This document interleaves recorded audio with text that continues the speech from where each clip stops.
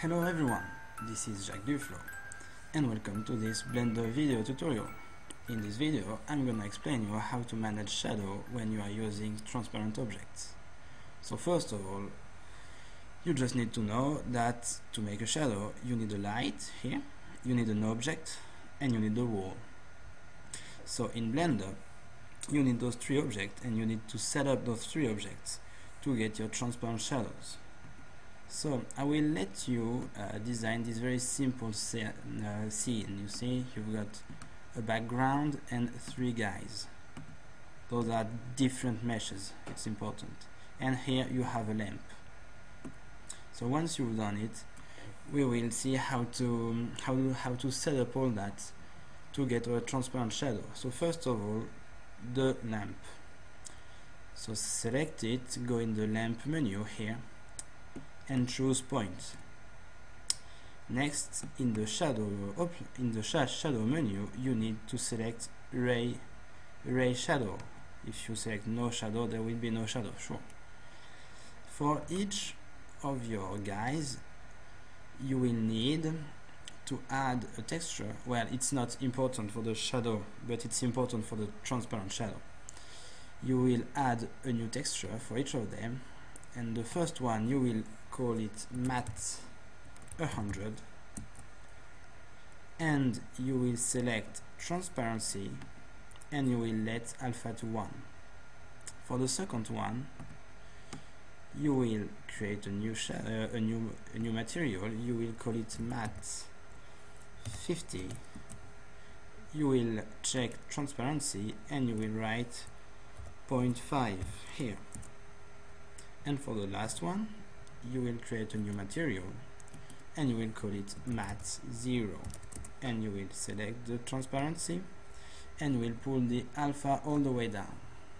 Oh by the way we will as well immediately add um, um, a texture just to to make those little guys a little more a, a little more sexy you know?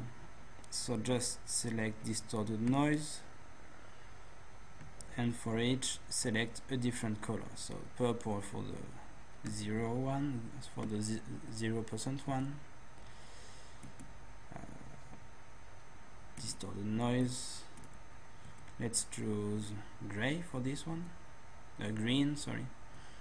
And for the last one one. Oops distorted noise. Blue. Okay next you select your the wall.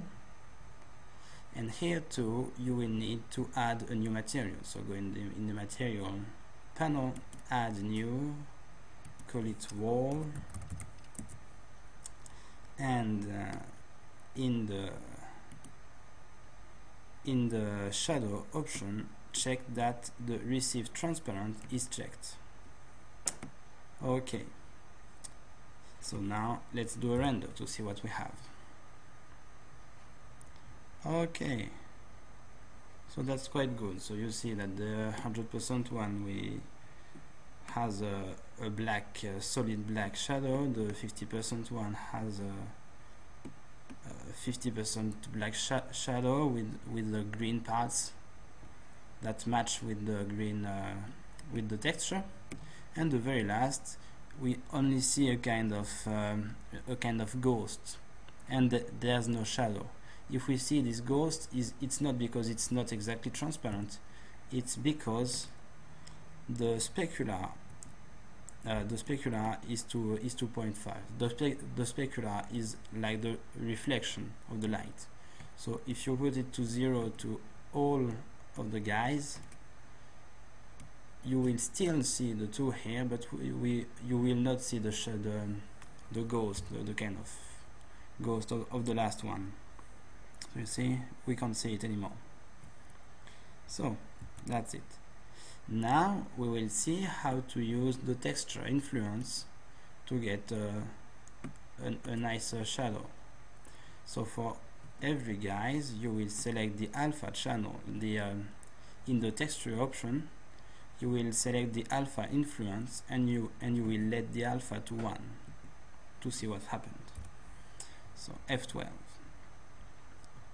so you can see that the 50 per, um, the 100% one it doesn't change anything. It's still a, a black solid uh, a solid black shadow. For the 50% one it goes from zero uh, from 50% to 100% of opacity and for the 0% one it goes from 0% to 100% okay. So if you pull the alpha down to negative 1 for all of your guys so the the effect is uh, will be inversed. Let's see what happened so for the 100% one still nothing still a solid black shadow. For the 50% one it goes from from 100% black to um, to 50% uh, tra transparent here. And for the last one it goes from 100% black to 100% transparent and that's why you can uh, that's how you can manage transparent uh, shadows. That's all I wanted to show you in this video. Very very short. Um, I hope I'll, he I'll help someone and uh, thanks for watching